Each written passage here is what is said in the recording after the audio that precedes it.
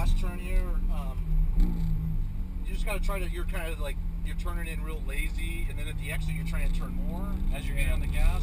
Yeah, gotta stay out wider. You actually want to. You want to actually. You want to. Your line was okay, but you want to be a little more aggressive on the first part of the turn in, so that as you're accelerating, you're opening up the steering, not trying to give it more. Yeah. That way you can get on it a little bit harder.